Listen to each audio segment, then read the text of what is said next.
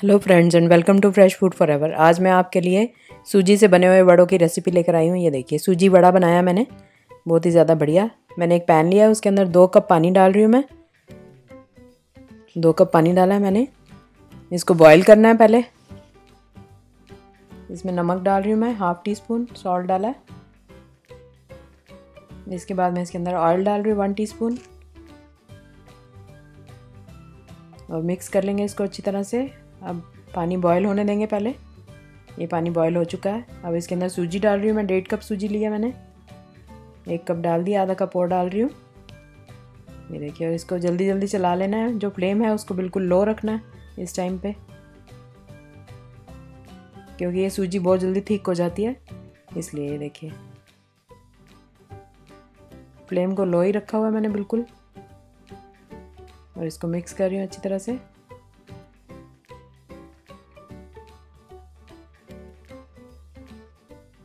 ये अब ठीक हो चुकी है, पानी सूख चुका है, ये रेडी हो चुकी है। अब इसको थोड़ी देर के लिए रख देंगे ठंडा होने के लिए। ये देखिए।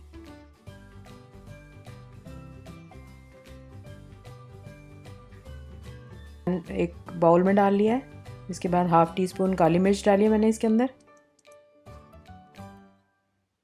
हरी मिर्च डाली है, दो चॉप की हुई।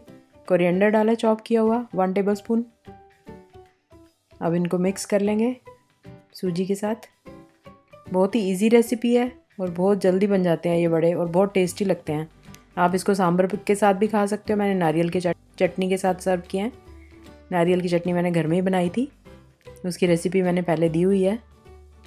आप देख सकते हो मेरे चैनल पे। ये देखिए, इसको मिक्स करती जा रही हूँ मैं। ये देखिए, एक डो तैयार हो गया इसका, कितना बढ़िया डो तैयार हुआ है।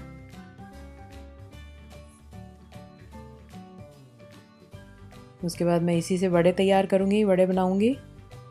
अभी दिखाती हूँ मैं।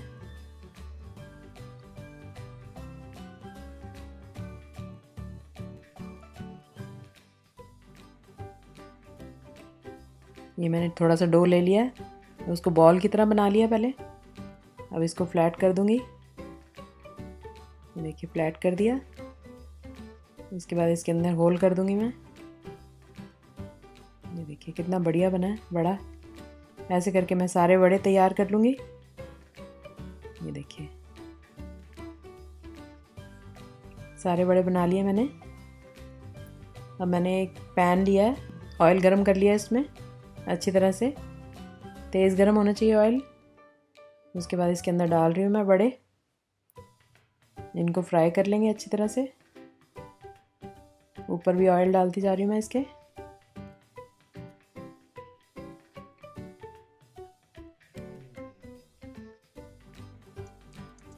बहुत ही ज़्यादा क्रिस्पी बहुत ही ज़्यादा टेस्टी बड़े बनते हैं ये। ना आपको इसमें दाल भिगोनी पड़ेगी, ना चावल भिगोने पड़ेंगे और ये बहुत ही झटपट तैयार हो जाएँगे ये बड़े और खाने में बहुत ही ज़्यादा टेस्टी लगेंगे।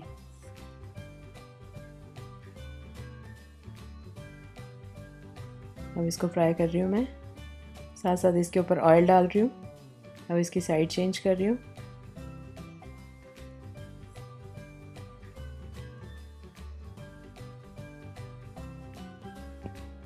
देखिए साइड बार बार चेंज कर रही हूँ ताकि हर तरफ़ से अच्छी तरह फ्राई हो जाए। अच्छा कलर आ जाए सब तरफ़ से। इसलिए इसको पलटाती जा रही हूँ मैं।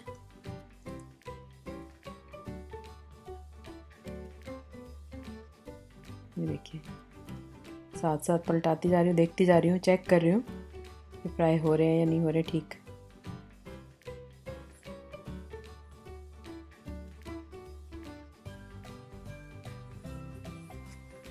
ये देखिए। बहुत ही ज़्यादा टेस्टी बड़े बनते हैं ये। आपको पता भी नहीं चलेगा ये सूजी से बनाए हैं या दाल के बड़े हैं ये।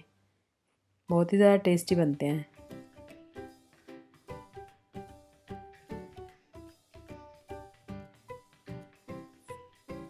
ये देखिए, इसको फ्राई करती जा रही हूँ मैं।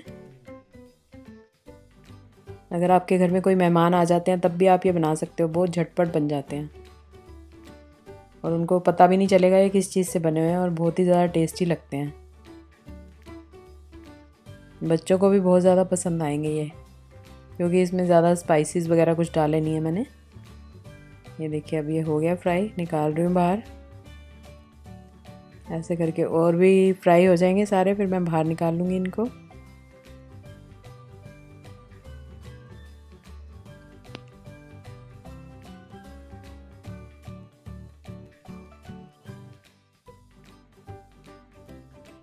ये देखिए फ्राई कर रही हूँ अच्छी तरह से।